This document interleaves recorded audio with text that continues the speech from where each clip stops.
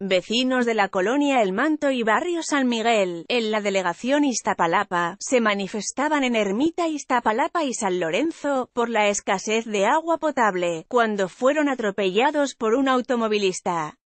Los lesionados fueron atendidos en el lugar y el automovilista que los atropelló, un joven de 24 años de edad, fue detenido calles más adelante y puesto a disposición del Ministerio Público.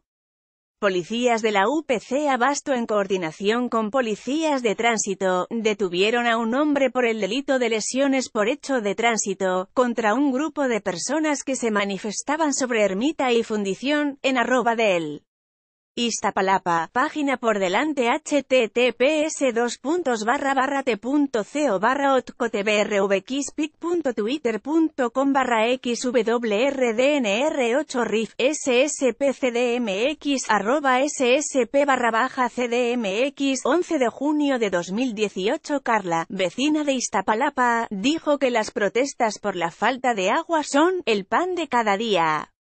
La semana pasada se cerró Rojo Gómez.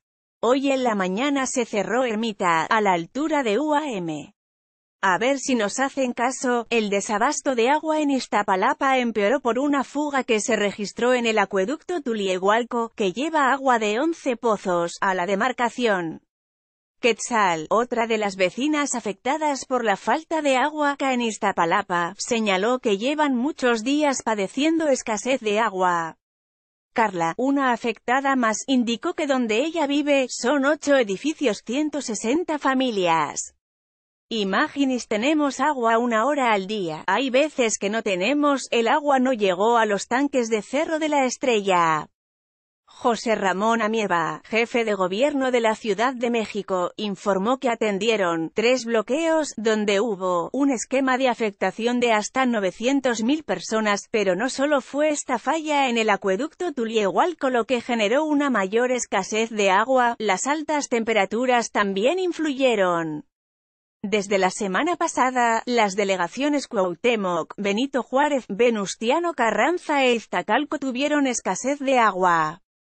Ramón Aguirre, director del Sistema de Aguas de la Ciudad de México, SACMEX, indicó que se disparó la demanda de agua, situación que no es común. Afortunadamente ya se está avanzando, se está restableciendo los consumos a la normalidad y esperamos que ya se pueda dar el servicio regular en la ciudad. Los trabajos en el acueducto Tuliehualco concluyeron por la tarde y se espera que el servicio mejore en Iztapalapa, en las siguientes horas.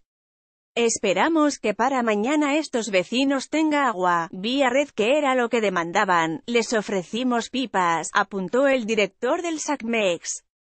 El jefe de gobierno de la Ciudad de México subrayó que sigue el operativo de contingencia a través de pipas y esperamos que el miércoles se vaya a regularizar el abastecimiento de agua. Las autoridades convocaron a la población a tener un uso racional del agua, porque las altas temperaturas seguirán y la demanda de agua será mayor. También puedes leer, identifican los tres cuerpos hallados en Iztapalapa con información de Guadalupe Madrigal, RMT.